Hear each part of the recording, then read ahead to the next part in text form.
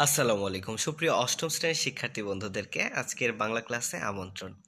শিক্ষার্থী বন্ধুরা, আজকে আমরা আলোচনা করব বিশ নম্বর পৃষ্ঠা থেকে বাংলার দ্বিতীয় অধ্যায়ের প্রথম পরিচ্ছেদ। ধ্বনির কম্পন মাত্রা ও বায়ুর প্রবাহ অনুযায়ী ব্যঞ্জন ধ্বনি। ধ্বনির কম্পন মাত্রা অনুযায়ী বিভাজন। ব্যঞ্জন ধ্বনি উচ্চারণের সময়ে ষড়যন্ত্রে বায়ুর কম্পন কম বেশি হওয়ার ভিত্তিতে ব্যঞ্জন ধ্বনিকে দুই ভাগে ভাগ করা যায়। একটা হচ্ছে ঘোষ আর একটা হচ্ছে অঘোষ। ঘোষ ধ্বনি, যেসব ধ্বনি উচ্চারণের সময়ে স্বরযন্ত্রে কম্পন অপেক্ষিত বেশি হয়, সেসব ধ্বনিকে বলে ঘোষ ধ্বনি। মনে রাখতে হবে, ঘোষ ধ্বনি কোনগুলো? খ গ, ঘ ঝ ঝ।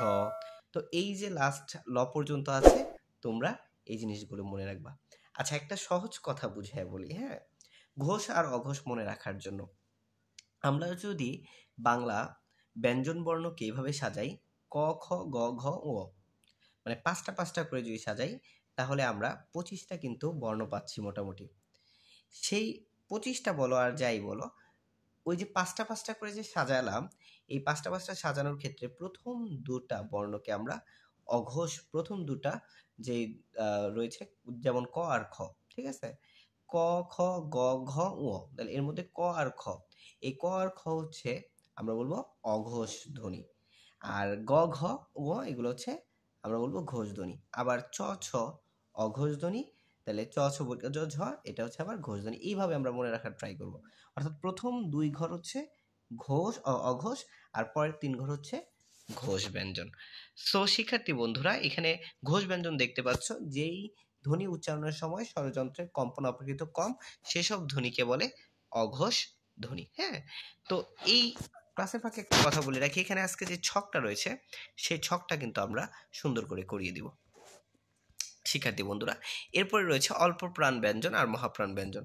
ওই অল্প প্রাণ যেটা হচ্ছে ফুসফুস থেকে নির্গত বায়ু প্রবাহের মাত্রা অপেক্ষাকৃত কম, সেগুলোকে অল্প প্রাণ বলি। যেমন ক, খ চ বৈকা ঝ, ট, ঢ, এগুলো হচ্ছে অল্প প্রাণ। আর খ বৈকা খ, ঘ, ছ, ঝ, এই জিনিসগুলো হচ্ছে মহাপ্রাণ। যেটা হচ্ছে যে ধ্বনি উচ্চারণের সময় ফুসফুস থেকে নির্গত বায়ু প্রবাহ অপেক্ষিত বেশি বের হয়, সেটা হচ্ছে মহাপ্রাণ। সো আর কথা না বাড়িয়ে চলো আমরা এখানে দেখি। মাগো ওরা বলে যে কবিতাটা আমরা এর আগের ক্লাসে নিয়েছি। সেই কবিতাটার কুমড়ো, এটা অঘোষ অল্প প্রাণধ্বনি ফুল এটা হচ্ছে অঘোষ মহাপ্রাণধ্বনি। তো এই যে বিষয়গুলো রয়েছে, সেই জিনিসগুলো আমরা শিখব। অর্থাৎ এখানে আমরা এই যে মুরকি, আশা করি মুরকি পর্যন্ত আছে, এই মুরকি পর্যন্ত আমরা একে একে শিখব। তো চলো আমরা একদম শিখে স্টার্ট করে দিই যে লতা থেকে লতা, ডাটা, গাছ, ছুটি, পকেট, ভেজা, দেরি, কথা, পাগল, মুরকি এগুলা কোন ধরনের, কোন ধ্বনি এখানে অ্যাকচুয়ালি কি? সো চলো আমরা দেখি। সো এখানে শিক্ষার্থী বন্ধুরা, আমরা দেখি লতা থেকে।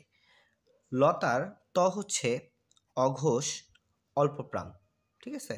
অঘোষ অল্প প্রাণ তাহলে আমরা পেলাম লতার ত হচ্ছে কি? অঘোষ অল্প প্রাণ ল তা ত অঘোষ অল্প প্রাণ তারপর হচ্ছে ডাটা। ডাটা হচ্ছে ঘোষ অল্প প্রাণ ডাটা, ঘোষ অল্প প্রাণ গাছের ছ ছ, অঘোষ অঘোষ মহাপ্রাণ।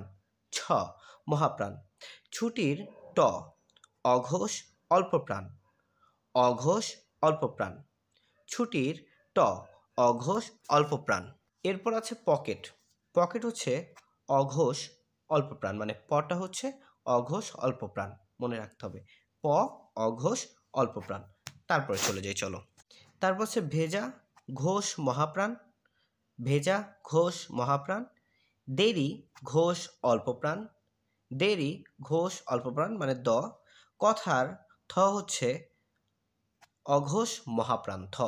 পাগলের গ হচ্ছে ঘোষ, অল্প প্রাণ। লাস্টে মুরকি রসুনরা হচ্ছে ঘোষ অল্পপ্রাণ আশা করি শিক্ষার্থী বন্ধুরা, তোমরা খুব ভালোভাবে জিনিসগুলো জানতে পেরেছ, শিখতে পেরেছ এবং ভবিষ্যতে খুব সুন্দরভাবে এক্সিকিউট করতে পারবে। আজকের মতো আল্লাহ হাফেজ, সবাই সুস্থ থাকো, ভালো থাকো। অবশ্যই চ্যানেলটিকে সাবস্ক্রাইব করো। সবাইকে আবারও আসসালামু আলাইকুম।